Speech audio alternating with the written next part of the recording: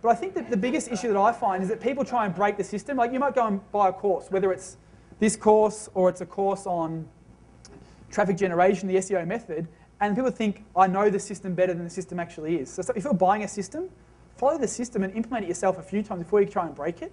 So many people I see go and they buy a course and then get a third of the way through and go, I know better than the person I spent two grand with and I'm going to do my own thing. Just if you follow the system, you can learn the skill. And that's what you got to try and drill into your outsources is that you don't know better than the system. The system knows better than you.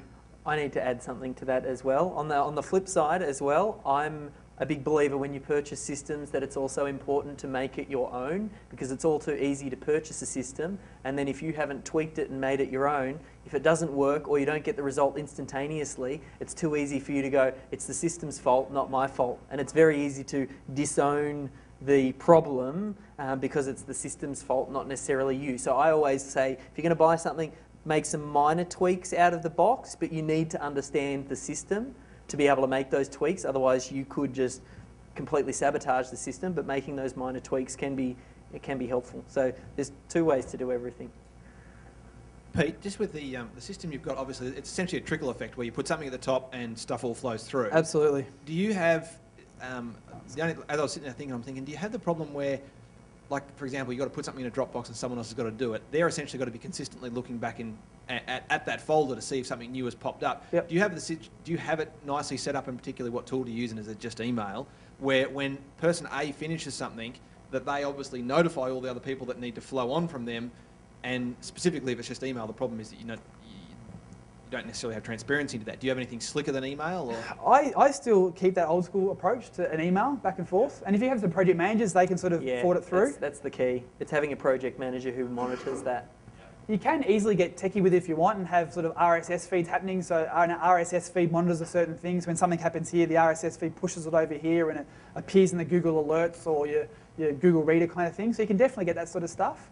And there's definitely some software online. Um, well, actually, let me, rephrase that. There would be definitely some software online. I can't think of anything off the top of my head that would sort of have that, where this you, you have one person do this and then it notifies people over here. Like in our office, we are have a lot of these systems in our telco company. Um, for obviously, when someone buys a, phone, a you know, 20 grand phone system, some serious things have to happen to make sure we deliver that. And we've got spent a lot of time building some, some bespoke software in house that when someone does one part of the job and ticks a box, then alerts happen in other people's inboxes. Um, that's very bespoke in our telco business, but this is the same method. Online, you can just have an email here, or you have your, your, your Google Docs account that when someone actually ticks this box in, in, in a particular Google Doc, folder, everyone looks at the same Google Doc um, workflow. So as soon as someone's updated this bit, then someone knows that, okay, I've got to take the next step.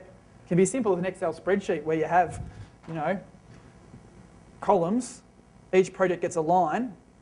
You know, step one, two, three, four. Everyone looks at this. So as soon as someone does this, the person knows to go and I'm in charge of step two. So anytime there's a step one without a step two tick next to it, I've got to do that.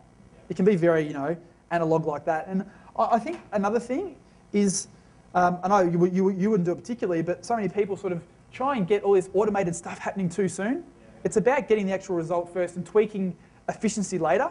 I want to get effective with my outsources first.